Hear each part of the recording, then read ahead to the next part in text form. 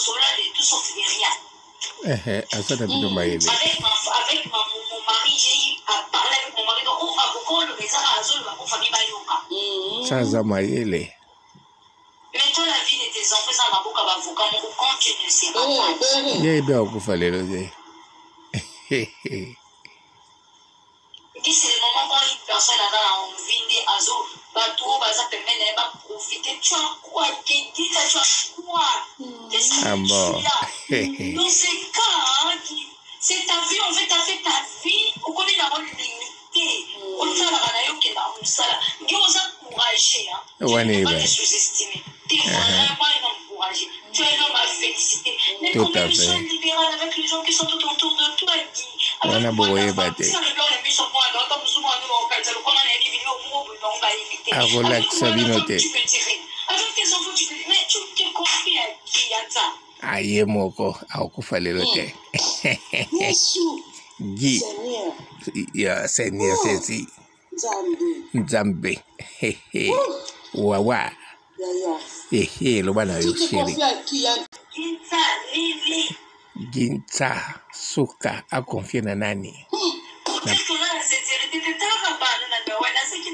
ayebi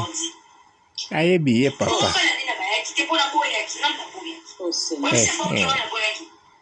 akoyebisa te bon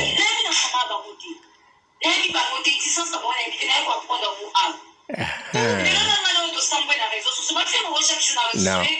osambwe te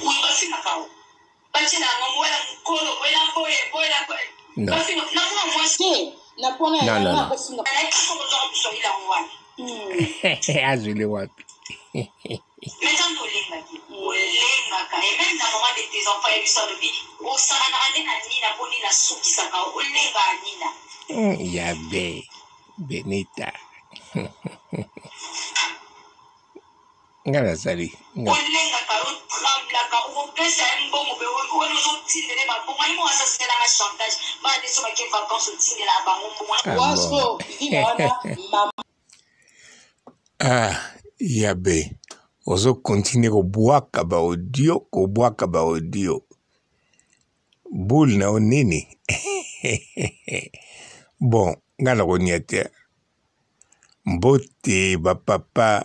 ba mama, ba ndeko. Mbote ba rando na ba randonnette. Mbote bato oyo balingaka rando na ba oyo balingaka rando te. Mbote ba jeunes garçons na ba jeunes filles. Mbote bana mike na ba bebes. Mbote ba Sainte Anuarite, Sainte Therèse, Sainte Ingrid Kabongo. Bandeko nazalaki kolanda live ya la baronne heure moko napusani boye nazoka toujours écouter nakie komela mwa eloko toujours nazolanda parti ya xbox na la baronne bazoloba tata wana lisolo ya tata wana mbala moko heure moko nalobi pa natala nanu makambo nini ezoleka boye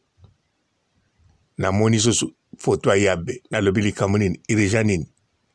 nakota nakutani susu na audio oyo Nayoki ka parti oyo boyoki ya 4 minutes. Ale mbala moko na ye pe nasala emission. Etambolaka kaka bongo. Ou bien nga mutu nazo tambwisa yango bongo. Ou bien toloba ya be mutu akomo tambwisa biso bongo. Ah ya be Benita tu es beni. Benita deux ans et demi azokende na trois ans ya libala me benita babia mobali na ye ndenge azosupervise yango lokola inspecteur azojoue role ya inspecteur ya finance azotala makambo tu ya mobali na ye antuka oza mwasi ya solosolo solo. sikoyo nde problème mobali yango mpe ya ntsa ntsa ayaya makisosila komba gi ezosone bien gi gi mokonzi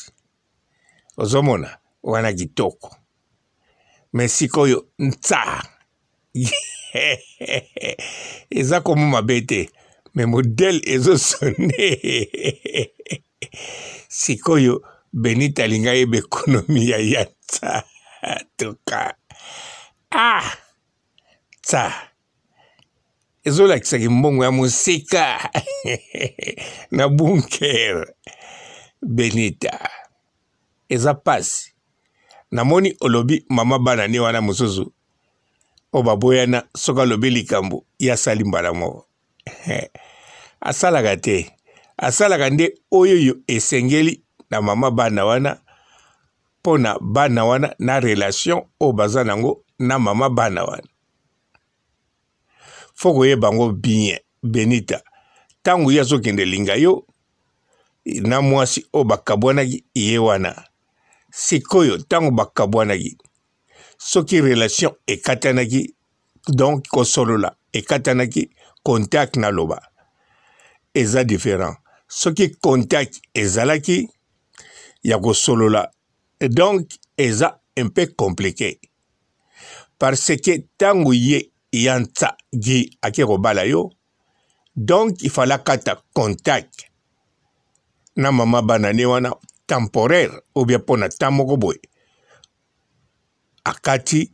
akipe makambo nyonso kaka ya yo na ya ye siko contact ekokozonga na conditionnellement na condition ya likambo moko boye to eloko moko ekotinda bazala na contact me relation te me sikoyo yo bakebala yo ya nsa akabwa na mwasi baza na contact voire meme relation mpo soki basololaka mingi donc eza relation soki batunanaka likambo par hasard eza contact ah benita ya be problème hein? problème mais ozokende bien ozokende bien kote ozokende mabe nde okanisi yo oza sire lokola ye aza na trois maladi oyo olobaki liwa moto ezozela ye Benita Yabe olobaki tango aye kobala yo azalaki deja na maladi wana abombeli yo ndenge wana te trois biloko olobi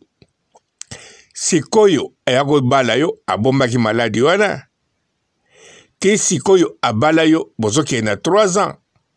akendeke toujours mosala asalaka azongaka na ndako donc elingi koloba akendeke mosala na makasi na ye moko te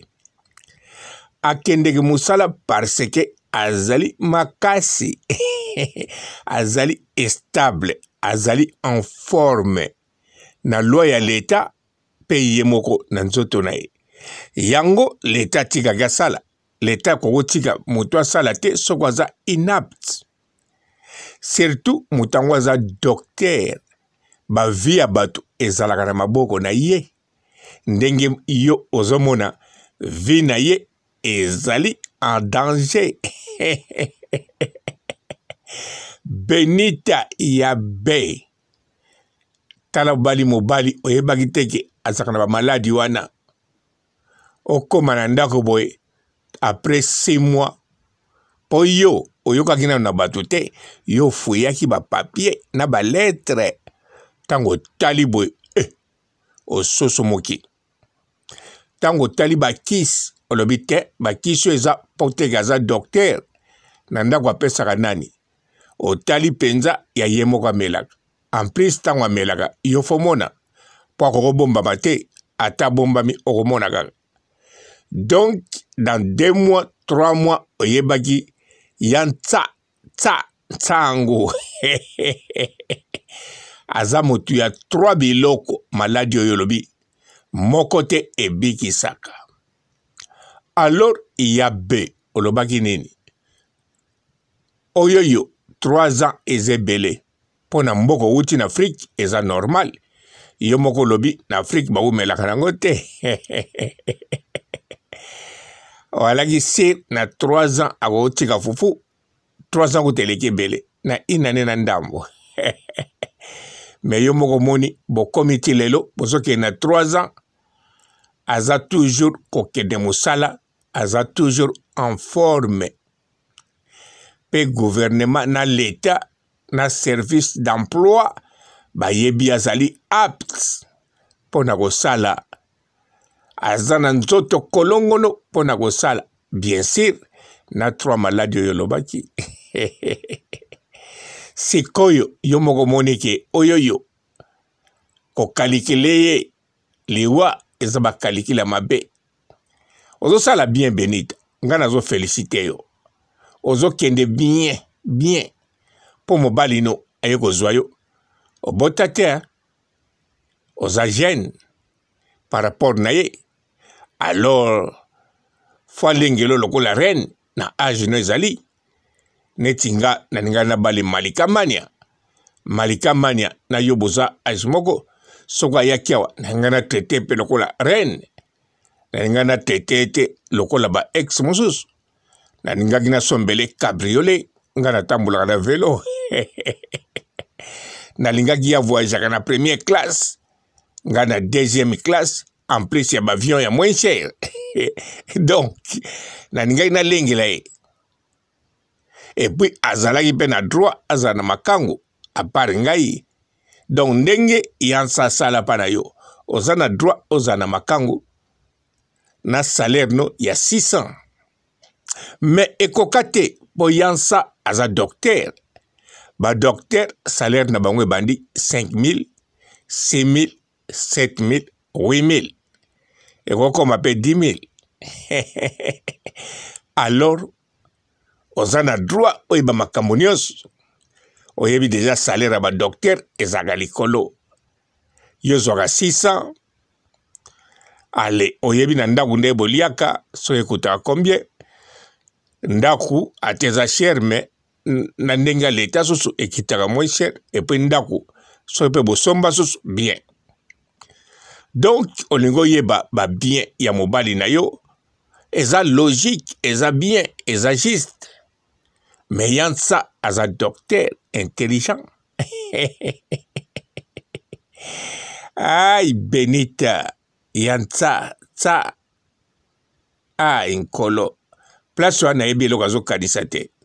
me eloko anayebi mbongo na ye eza ya kisi te mbongo abombaka na bunker voire meme aza na babanki oyo oyebi te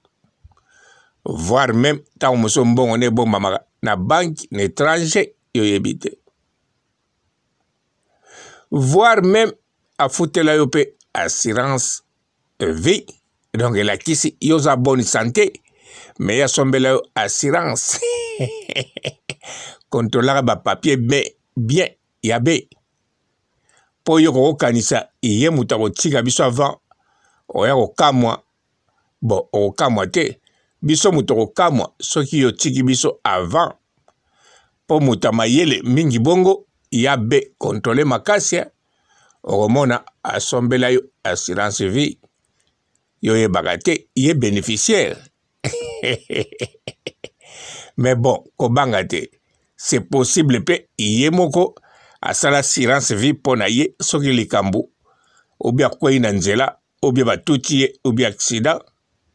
yo obénéficie na mbongo wana kote kuna kitisa motema c'est possible akosalela yo assurance vie ondimi te nazoloba no kaka selon experience ya makambo yango ndenge ekendeki ai benita ya be te ozomema makambo yango kitoko na koso te ozomema yango bien Continue kosala ba enregistrement pe bwakela biso ba audio. Osali penza bien. Sekele no ndako toyeba osambwa mais oko beneficier nango. Ke soki obombaki yango otiki bongo. ou bien soki obandaki ko presumir presumir non presumir te presumir non comment babengaka presumir wana ya monoko nini wana ekozala ba latino kaka me nayeba te soki monoko nini presumir presumir non ko se vanter oui c'est ça presumir nakanisi eza minoko ya pays mosusu ou bien kozala monoko na bino batetela we ko se vante au rien o se vante olobaka ke akipa ko bien asalaka makambo to bien oyo kutu osali tour oyo eleki bien benita ya be na felicite yo parce que oza na droit au bénéficier oza mwasi pas comme les autres kanisa bien mwasi abote lokola yo ya bien lokola yo ya nsa mpo abima na ye soki yo oza te fo bashina shina ye na bapetit oyo ya, ya biso kaka awa ya milie soki ya milie te fo akende zwa oyo afutaka boye na vitrine mpo azwa mwasi ya kitoko neti yo wana akokende akozala na ta moke bakolambela ye te eloko te bakopase kaka bazere moko to baminiti ya moke soki alobi butu mobimba na mwasi ya vitrine bakopase salaire oyo apesako panda 1 mois 600 euro ye na vitrine akofuta yango na butu moko Omoni? Yango wana ya be oza na droit mpenza oloba makambo oyo ozoloba, osala oyo ozosala sikoyo. Masolo nyonso bokosolola sala yango enregistrement, bwaka na internet ebima. Bwakaka, bwakaka, bwakaka. oyo ozosala tour oyo nga papa robo na encourage yo na mitie na place na yo te na mitie na place ya ginsa nayebi aza na mbongo en plus ebele problème nde yo okokomona yango te meme akufi okokomona yango te edo eza mpasi meme kutu bokeluka na bambila bokomona yango kaka te me mbongo oui aza nango mbongo ekendeke epai moko te aza nango ebele oyo kutu yo ozoimagine te yango wana lokola oza na ndako aza homme sel te akenda kobala yo mwasi ya gene alors aza na droit ya kozwa yo plus que reine reine ya ba reine ya suka donc 600 euro wana soki azopesa yo mais chaque fois fo alakisaka yo pension na yo mpo ndenge aza wana benita fo ye bango bien soki ye atiki mokili yo obanda ozwa pension na ye legale na leta pension okozwa alors fo ozala susu na heritage mbongo oyo obanda ozwa oyo ya kotika donc fo oyebaka yango ere oyo ozokende très bien ata bosali deux ans nano bokokisi trois ans te ata bozokende na trois ans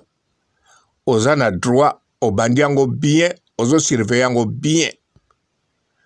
apart ko surveiller obwakeli biso na internet ozwi likambo ya bien kote obenita nazo felicite yo apart ko felicite nazo encourage yo continue boye tya ya be tya ya ya nani tya nsa pression surtout na koloba na yo lobaka mpo na intere ya yo moko yo ata bana mosusu bokoperaka bien mosusu bokomperaka bien te ata mwasi na ye ya ex moko bokoperaka bien mosusu bokoperaka bien te ata bandeko na ye misusu bokoperaka bien mosusu bokoperaka bien te me na likambo ya mbongo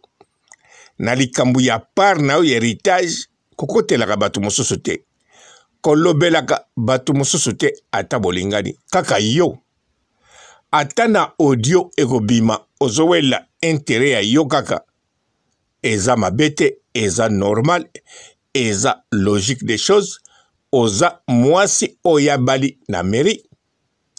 oza mwasi oyo yakenda kozwa na congo mpo bosala vie ntina reste ya vie na ye oza mwasi oyo boza na ye ensemble ndako moko akendeke mosala azwaka salaire ya badoktere azwaka mpe mbongo deux fois ya conge chaque année alors mbongo ya conge ezalaka susu mwa ebele yo sikoyo nayebi te so bokendeke bavoyage na conge wana na bateau soki wapi nayebi te yeba ndenge aza wana atuka yo ozo merite mingi ke oyo yo oza nango sikoyo yango wana benita lokola odeside ozala toujours na ndako wana alors ozala na ye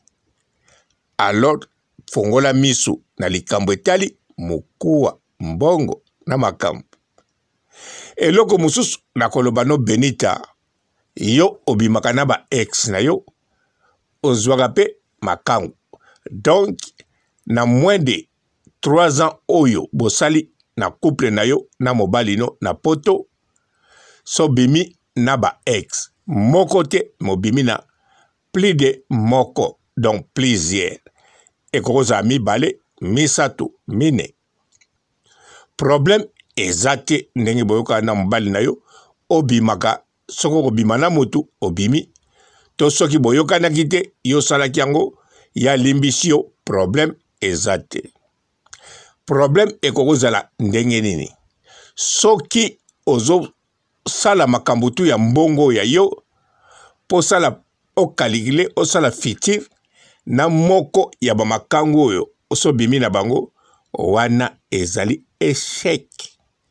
yo fo osala kaka kalikile ya yo oza na mwana te kosala mpe kalikile mpo na vie moko te na makangu oyo osobimaki na ye rien du tout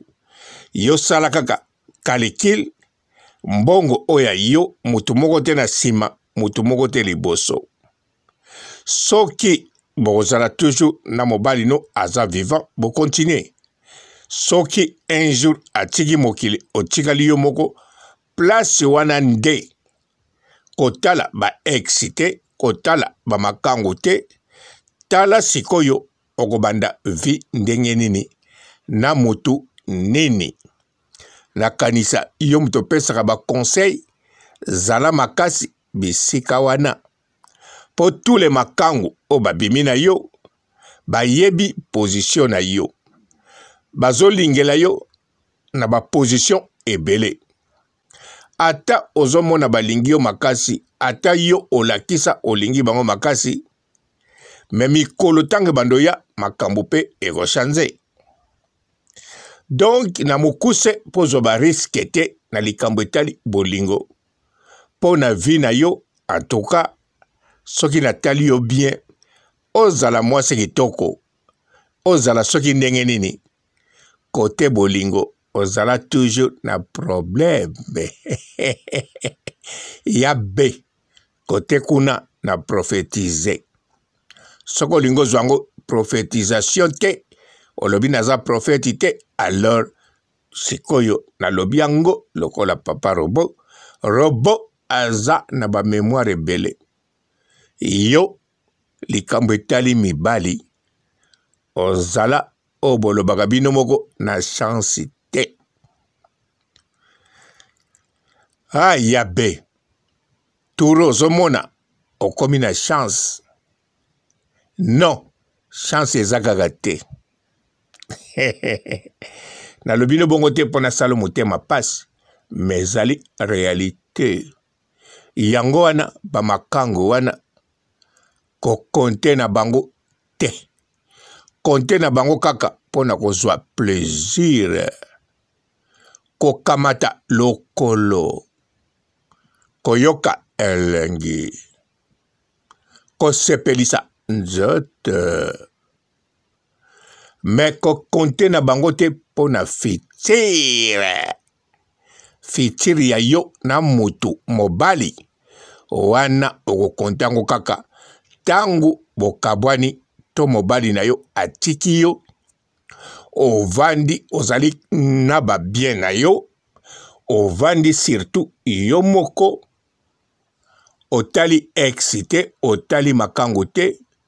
obandi calicule sika Tango mosusu place wana okozwa chance ya bolingo. Mais soki otali ba ex, otali ba makango oyo okobima na bango, en tout cas oko continuer chemin ya sans chance na bolingo. Oko continuer chemin ya kozala yo moko. Sikoyo kobota c'est possible pe ata obotaka okomona neti black otikali pe kobota te bien sûr oza na matrice ebotaka mais oboti te ah yabe kanisa mwasi kitoko bote chance ya mibali ezala te suka na yango chance ya kobota mpe eza te suka na yango otikali kaka yo moko alors nandimi te oza na yango mposa okomi na 34 ans yo moko olobi na yango otokokisa yo moko olobi yango alors 4 ans lisusu okoma na 38 ans 6 ans okokoma na 40 ans sikoyo d'après yo mobali no akoki ntango mosusu kotika biso avant yokoma na 40 ans me mobali na yo ndenge ageraka vie na ye na ndenge abombaka makambo ebele epuis lokola aza docteur alors ye ayebi Eloko nini na nzoto ne ekopesa ye signal ke otikali na moins de 3 ans na mokili oyo? Soki eza accident ya voiture te, soki eza maladi, ye lokola aza monganga ayebi ba maladi oyo aza nango donc akoyeba. soki eta nini akomi nango mpo akoka lisusu aleka 3 ans te me modele akendeke mosala modele abombi makambo c'est possible yo na ye bokokokisa 40 ans wana ensemble 40 ans ya age na yo eza mpe mabe te ya be okoinvite biso na 40 ans na yo mpo na age ya 40 ans okosala feti ya kitoko ya monene tokozanga te ya nsa sur et certain akozala ginsa na yo akozala na aniversaire Ya be, naloba no lisusu boye, bima na balabala lobi, tambola journee mobimba. Okomona bakoko na mibali ya age ya mobali na yo ya mindele, misusu bazotambola, misusu na banzete, misusu azotindika biloko moko boye na bapine mibale, mosusu aza ne tout droit mazokende mwa bwa te mosusu azokende malembe alors bosolola soki bamaladi nini eza na nzoto na ye surtout linga oyeba ebanda kan nsima na yango tuna ye akokobakisa akokovivre lisusu bane boni A partir ya wana okoyeba moke ya nsa soki bozali na ye encore combien d'années Benita, tu es béni avec qui Guy, Guy nini ça bakombo elandaka non bakombo elandaka nango te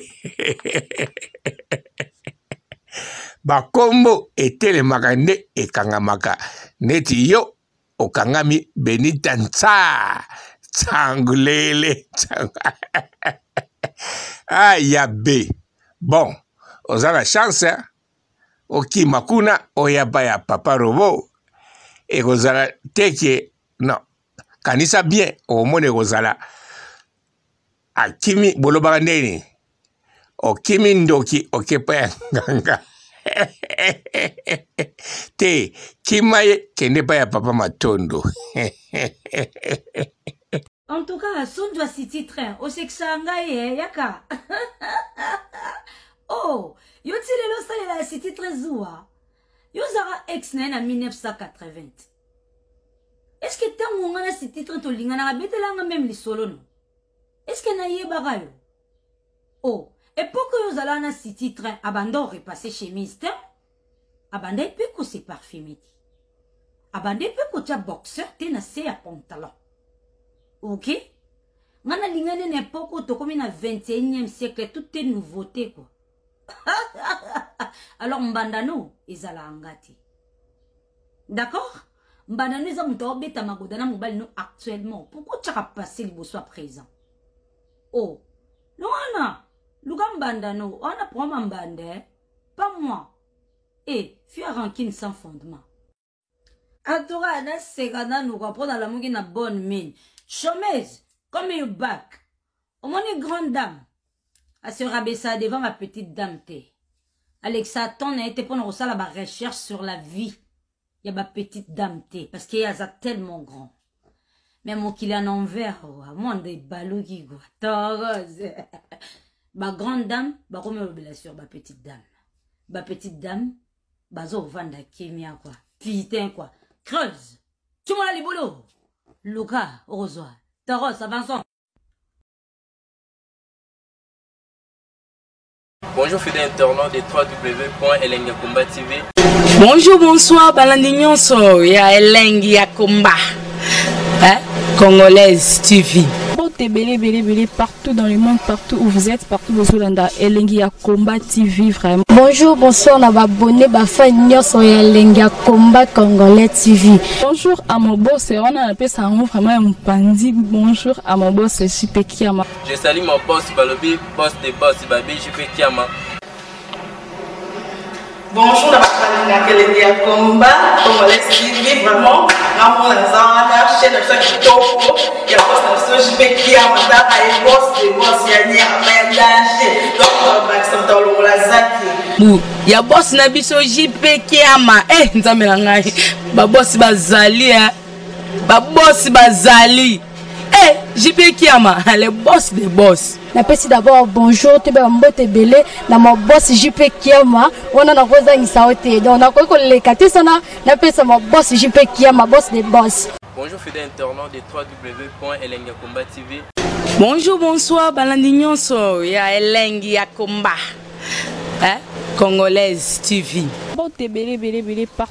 tout dans le monde partout où vous êtes partout bozolanda elengi ya combat tv vraiment bonjour bonsoir na babone bafai nyonso ya elengi ya combat congolais tv bonjour à mon boss wana napesa yango vraiment ya mopanzi bonjour à mon boss jp kiama je sali mon boss balobi boss de boss babi jp kiama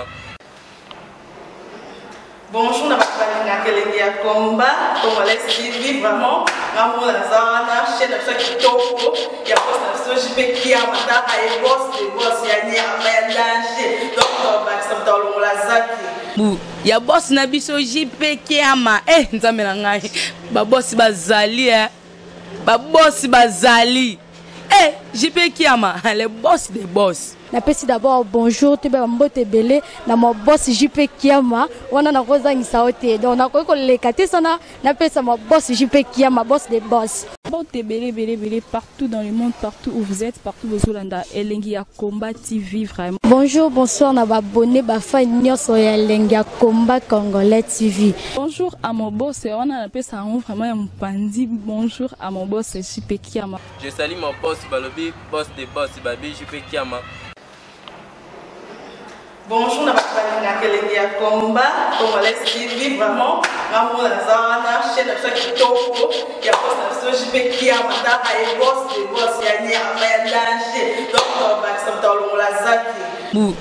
ya boss na biso JP Kiama eh nzambe na ngai ba boss bazali eh ba boss bazali eh JP Kiama le boss des boss napesi d'abord bonjour toyeba bambote ebele na mwa bos jp kiama wana nakozangisa yo te donc nakoki koleka te sana napesa mwa bos jp kiama bos de bos